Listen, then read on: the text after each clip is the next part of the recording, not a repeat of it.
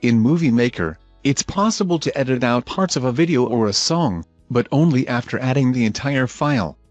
To split a file into two different files, select where in the clip you would like to split it, then go to Edit at the top of the screen. Directly under that is the Split button. Alternatively, you can right-click after placing the navigation bar where you want to split.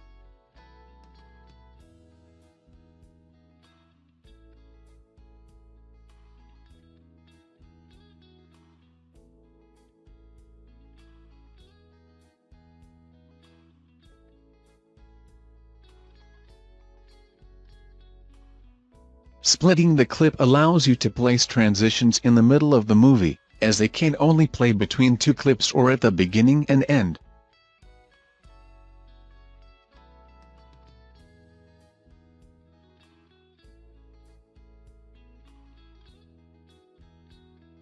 Splitting also makes it easier to trim parts of a movie, as the clips are separated from one another.